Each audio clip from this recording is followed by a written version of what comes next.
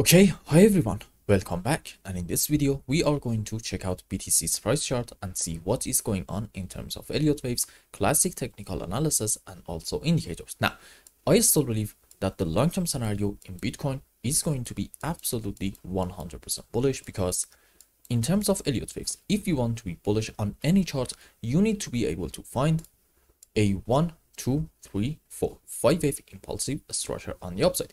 We can have different kinds of five waves.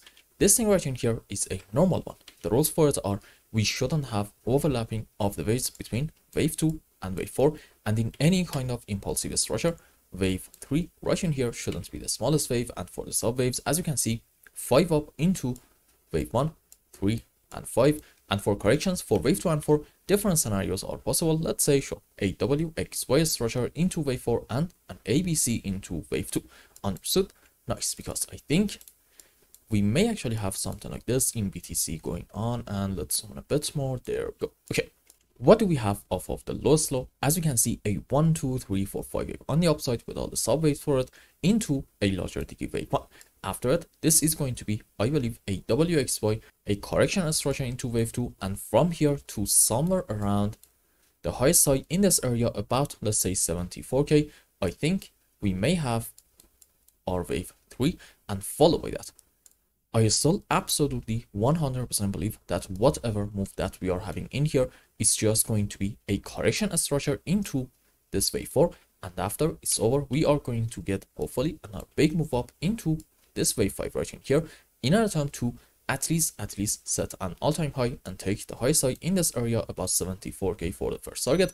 And i just do not believe that we are going to stop here. No i think a better target can be somewhere around 90 to potentially even 100k even higher. And that's why i am going to remain bullish in bitcoin as long as i'm not proven otherwise. Now let's go on another chart. I believe it was on coinbase. There we go Okay, you see, like we said earlier, this is 1, 2, 3, 4, 5 on the upside into this larger to be wave 3 and followed by that we are having in here a correction structure for 4. If we remember, in the previous videos in Bitcoin, we were saying, well, okay, maybe this is going to be a WXY in form of a double zigzag into wave 4 to somewhere around this point. And from here we can actually identify the A5 wave on the upside in order for us to be able to say that maybe this point right in here is actually the end of our wave 4 and from here we may have for example a 1 and a 2 and followed by that we're gonna have a big move up into wave 3 and 4 and 5 however as you can see in the recent moves on the downside we actually took the lowest low in here and that means that we are still in a correction structure into this wave 4 and our move down may not be over yet. Now if you remember the last time that we talked about btc we were right around this area i believe and i said look about here between let's say 56 to about 56 and a half k we are having a very very important support area from weekly and daily time frame at the same time. So if you want to get a move on the upside in bitcoin we can actually get it from this area and hopefully we're not going to get a break of it because if we do at that point this move down is going to actually continue to somewhere around the next important region between let's say 49 and a half to about fifty thousand dollars. Now Here's a question. Does this move on the downside right in here mean that we broke the support? In my opinion, no. You see, this area, like we said earlier, is from weekly and daily time frame at the same time. And if you want to say that this is broken, you need to go on weekly chart and see a candle close and an initial move under this region, followed by that a pullback to the broken area, and then after it, a continuation of the move down in an attempt to take this low. And based on that, let's go on weekly chart. Zoom in a bit more in here. Excuse me. There we go. Okay what do we have? As you can see we're not actually even having a solid candle close under this area. Sure you might be able to argue that this is a candle close under this region but again i'm going to say it. We need like a solid candle close. For example if we get a red candle in btc in the next coming weeks and for example it's going to close somewhere around this area. Well okay at that point fair enough we are getting a candle close but even then this region is not going to be considered as broken. No, we need to see after a pullback and then a continuation of the move down. And as you can see, because we're not having it right now, I'm going to argue that this support is not broken yet and there is still a chance of having a solid bounce back in BTC's price chart. Now, here is a very important point and I need you to pay full attention to what I'm about to say. See, I am not convinced at the moment that this move down in here in BTC is over for two reasons. Number one comes down to Elliott waves and if I just go on 15 minute chart, zoom out a bit more, there we go. You see, I guess you can argue that this is going to be from the low in here, one, two, three, four, five wave on the upside and we can be bullish, fair enough. But I think we may have something like this. One, two, three, four, five wave up, followed by that a correction on the downside to somewhere around maybe this point in form of potentially an ABC structure. And in here, we are going to have yet another one, two, three, four, five wave on the upside.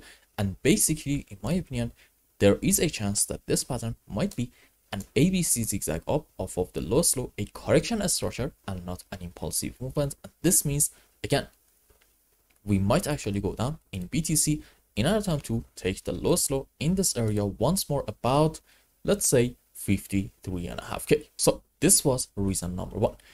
Reason number two, I think in terms of classic patterns, we may have a triangular structure in here and here are the lines for it. Let's just do this, excuse me, there we go. And this is going to be the lower line. There we are. Let's actually do this. Okay, now here's a very important point. This pattern is not confirmed yet.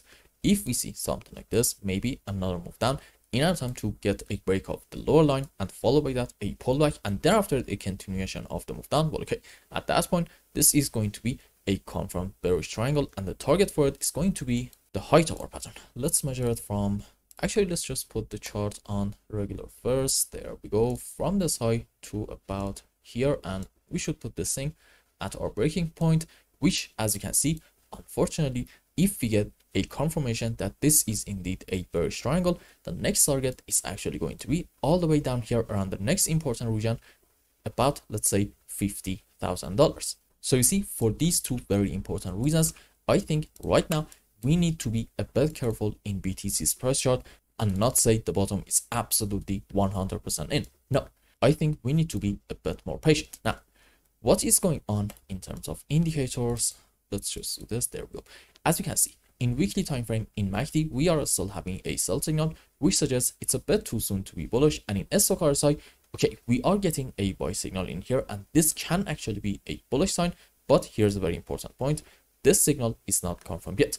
We need to wait until the end of the week. And at that point, if we are still going to have this signal, fair enough, it can be a bullish sign. But if you want to go according to indicators, I would like to argue that you need to wait a bit more and see a buy signal in MACD and Stoch RSI at the same time. And at that point, fair enough, we are going to be bullish. But for now, not yet. And in daily time frame, what is happening? As you can see, we are having basically the same situation, a sell signal in MACD and a buy signal in Stoch RSI.